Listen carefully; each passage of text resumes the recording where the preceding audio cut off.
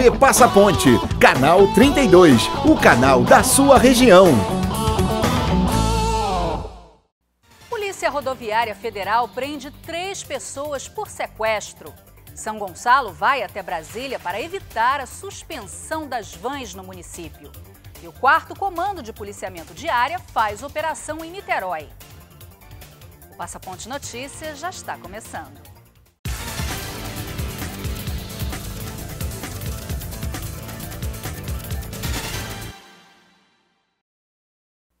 As chuvas chegaram mais tarde esse ano, mas a preocupação com as enchentes ainda é grande.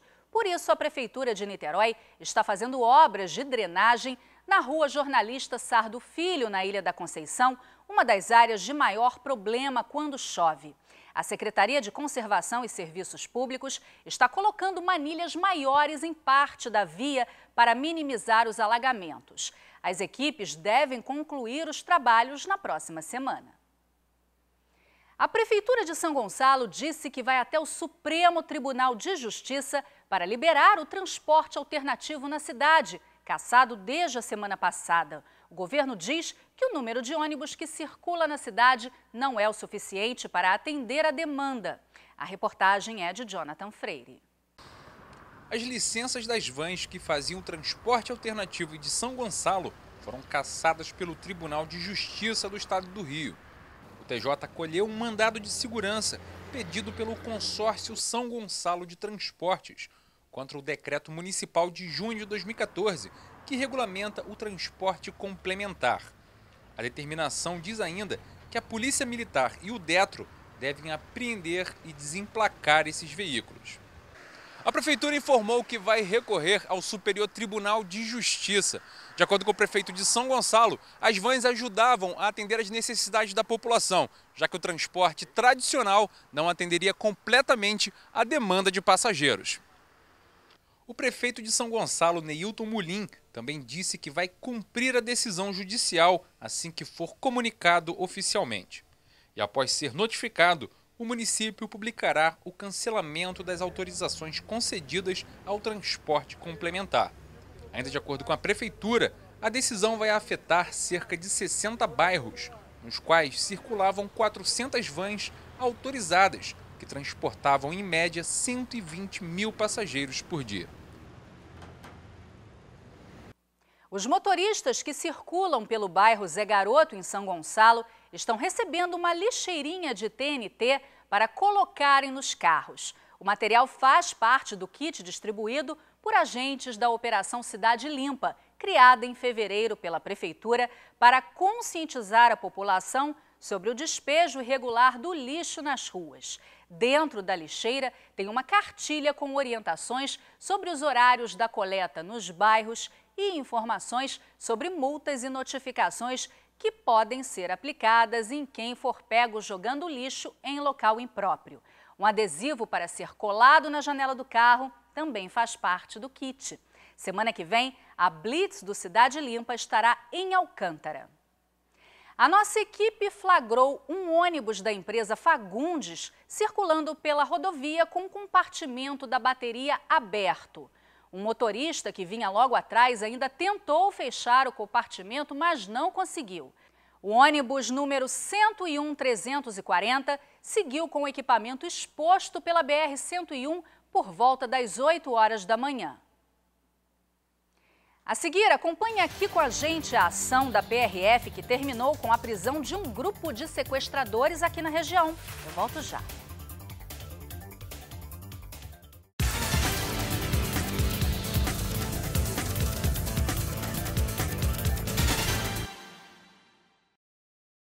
Acho que o meu grande defeito é ser perfeccionista. tá me tirando, né? Só se for perfeccionista na arte de ser mané. Esse moleque deu tanto migué na faculdade que levou trote no oitavo período porque pensaram que era bicho. Acordava cedo no fim de semana só pra ficar mais tempo à toa. Só pode estar de brincadeira com esse papinho de perfeccionista. Ah, essa foi boa. Seu diploma diz tudo sobre você. Inscreva-se no Vestibular Universo. Você não sabe quanto eu caminhei pra chegar até aqui. percorri milhas e milhas antes de dormir. Eu não cochilei os mais belos montes. Eu escalei. Rádio Mania 90,9.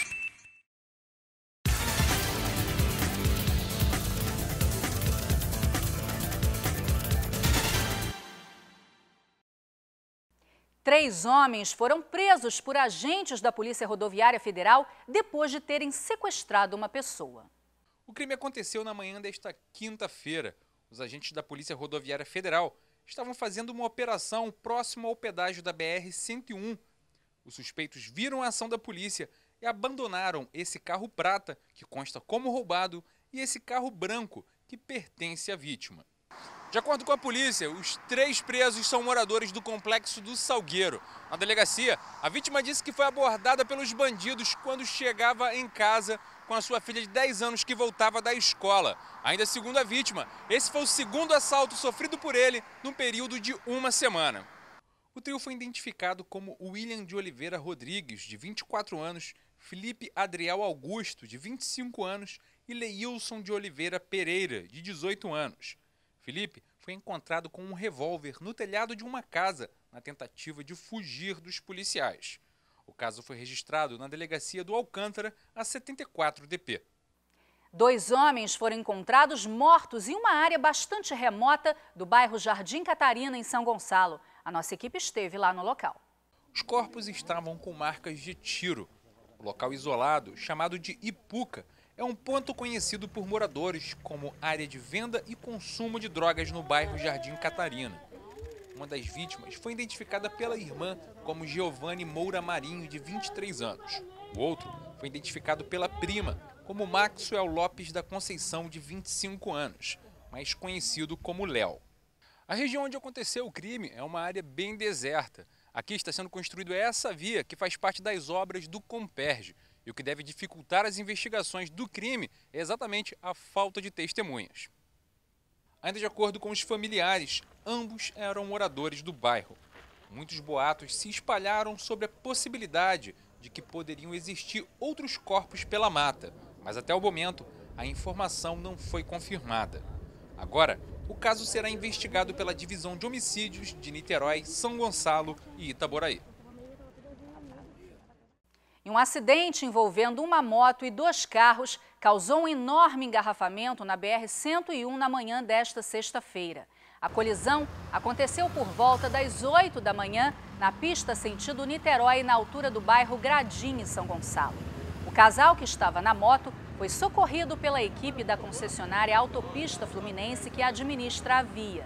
A mulher teve ferimentos leves, já o condutor da moto quebrou uma das pernas. Depois de uma determinação do 4 Comando de Policiamento de Área, o 12º Batalhão realiza blitz por todo o município de Niterói. Diversas blitz foram realizadas nesta sexta-feira.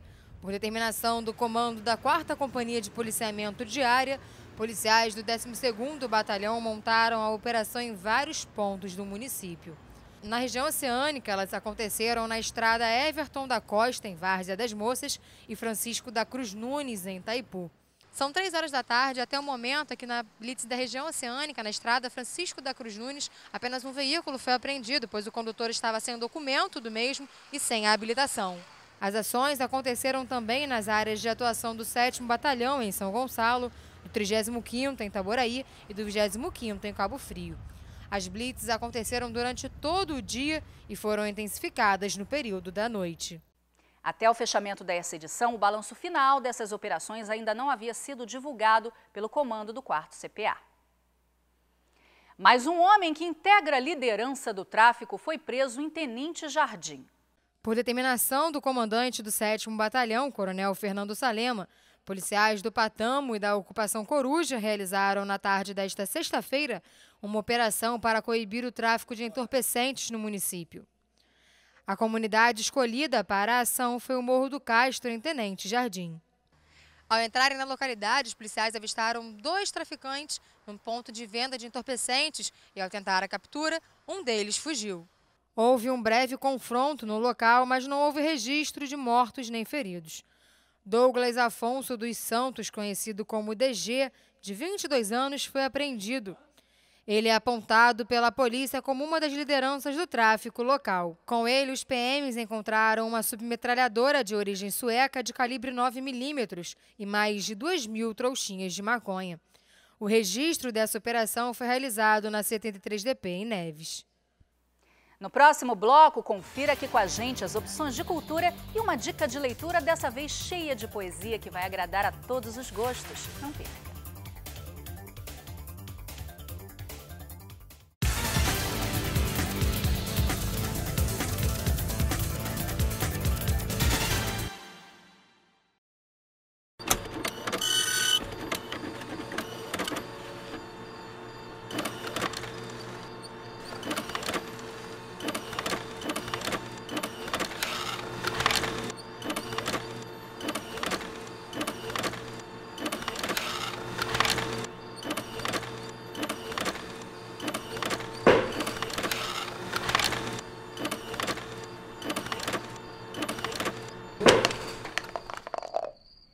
É muito xandão e tudo de bom pra desestressar. A luz em neon, ajeito o batom depois que eu vou rar. É, é muito xandão, tudo de bom pra desestressar. A luz em neon, ajeito o batom depois que eu vou rar. Uh, pode me esperar que eu tô chegando aí. Rádio Mania 90,9.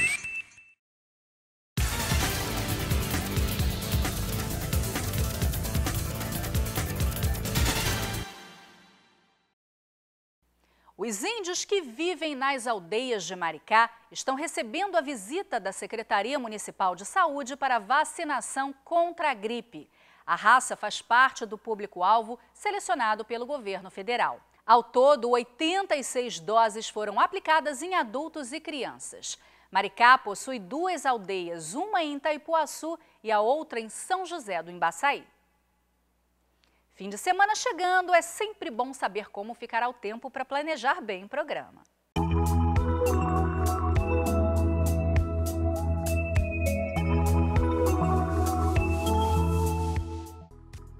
Olá, tudo bem? Neste final de semana deveremos ter sol entre nuvens, tanto no sábado como no domingo. E as baixas temperaturas devem continuar em várias cidades do Rio de Janeiro. Confira agora quais serão as máximas e as mínimas para o seu município. Em Niterói, mínima de 17 e a máxima de 28 graus. Para o município de São Gonçalo, a mínima é de 15 graus e a máxima de 28. Para o município de Itaboraí, mínima de 16 e a máxima de 28 graus.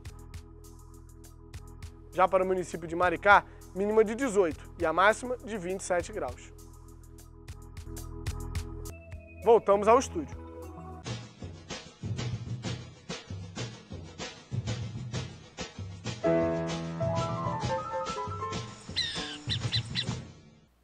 Estamos aqui mais uma vez para falarmos sobre arte, cultura, literatura, leitura, em suma, aquilo que traz mais prazer às nossas vidas. E as nossas dicas culturais desse final de semana estão bem diferentes, né? Nós vamos abrir falando para Niterói. Niterói está com um grande espetáculo em cartaz que é o Otelo de Shakespeare, um texto super bacana é, com quase 500 anos de existência, mas muito atual, muito atual. Otelo pode ser visto no Teatro Popular Oscar Niemeyer na sexta-feira às 21 horas, no sábado às 20 horas e no domingo às 19 horas, por preços bem baixinhos, entendeu? Tem meia para estudante, para idoso. Além disso, ainda tem uma campanha, se você levar um pacote de fraldas, você paga ainda mais baratinho, porque essas fraldas são para uma instituição beneficente. Então tá muito bacana e o Teatro Popular Oscar Niemeyer fica bem localizado, né? Todo mundo dessa região, Niterói, São Gonçalo, Maricá, Itaboraí, pode chegar com muita facilidade porque ele fica atrás do terminal rodoviário João Goulart, bem no centro de Niterói e tem lá toda uma área para patinação, skate, tem um bistrô com um cafezinho gostoso, tudo muito legal, acessível e a gente recomenda aí. Em São Gonçalo, a dica vai para o Encontro das Artes que está acontecendo na Casa das Artes de São Gonçalo, no Zé Garoto. Uma exposição de obras do artista plástico Décio Machado, está lá, aberta a visitação, a entrada é franca e, fora isso, também tem uns horários eh, em que vai estar tá acontecendo demonstrações de dança com a bailarina Carla Oliveira, da Acodance. Eh, tem uma série de atividades. Você chegando na Casa das Artes, você procura saber o horário da programação. Se informa tanto no fim de semana quanto durante a semana, com visitação inclusive para escolas. Então é uma dica democrática. Em Maricá, a dica, a recomendação vai para a Orla de Itaipuaçu. O Uli, fotógrafo, está reabrindo o canto do Uli, o recanto do Uli. E fora isso, uma série de bares, restaurantes estão com uma programação muito especial para esse momento em que as temperaturas começam a baixar. Então, toda aquela orla de Itaipuaçu, o Barroquinho, tá todo mundo com música ao vivo, muita atração musical que não dá para a gente, no, no nosso curto espaço de tempo aqui, descrever um por um. Mas você pode ir lá conferir, dar uma volta de bicicleta ou de carro e ver lá o que está acontecendo e pode até depois contar para a gente como é que foi, entendeu? Se foi bacana mesmo. Em Itaboraí, o Roteiro das Artes. Os ateliês todos estão com promoções, todos os ateliês que trabalham com barro, cerâmica, que é uma marca forte da cultura de Itaboraí, estão promovendo ações especiais já de olho no Dia dos Namorados. Né? Semana passada foi Dia das Mães, mas Itaboraí já está de olho no Dia dos Namorados. Então, todas aquelas é, olarias que na verdade foram transformadas em ateliês de criação artesanal, de criação artística, estão com suas peças à mostra, à exposição. São muitos os artesãos de Itaboraí. Vale a pena, ao longo do percurso que se faz na Niterói Manilha e, e outras vias de acesso a Itaboraí, conhecer de perto o trabalho desses artesãos que fazem a história da cidade. E agora nós vamos para a nossa sugestão de leitura.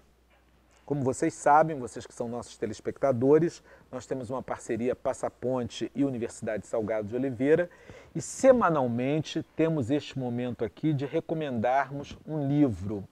O livro desta semana é do Alfredo Alberto Bresciani, Sem Passagem para Barcelona.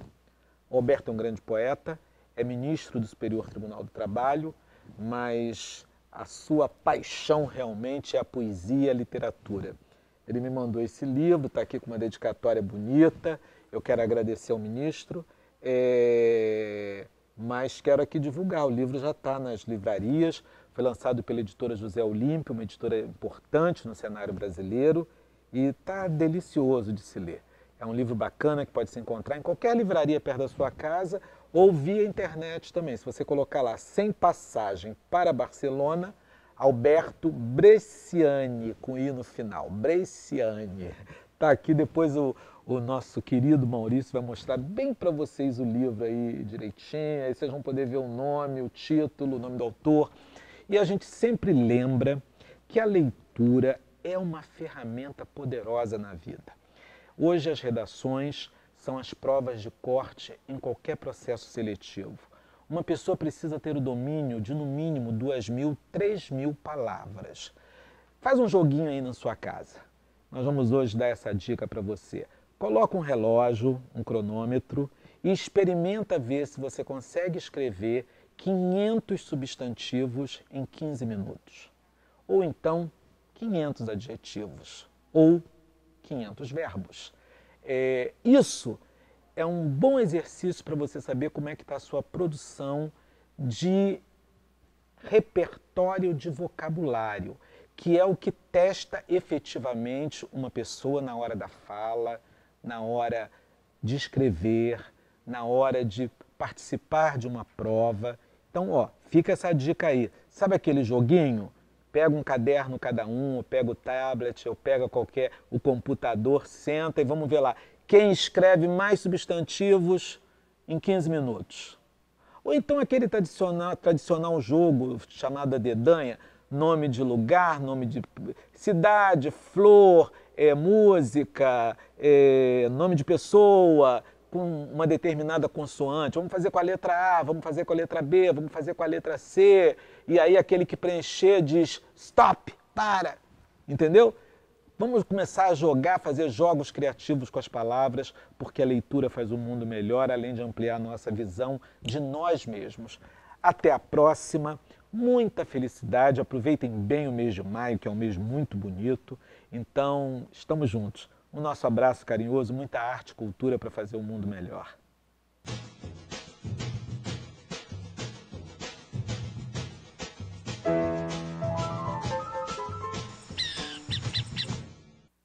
O Jornal São Gonçalo chega às bancas neste sábado trazendo essas notícias. Dois jovens são executados no Jardim Catarina. Ajudante de cozinha é morto durante confronto no Morro da Dita. Detro faz operação contra vans de São Gonçalo. O Passaponte Notícias fica por aqui. Um bom fim de semana para você e até segunda. Prefeitura, estava com seu netinho no carrinho. Vou atravessar quando o sinal fechou. Os carros não paravam, acabados de limpar o jardim. Restos de mato estavam dentro do saco de lixo liso. O estava interditado por motivo de vandalismo. Não há verbas para o conselho. Laila Padeixa para o Passaponte Notícias. Correndo todo o estado do Rio de Janeiro. Veja no mapa.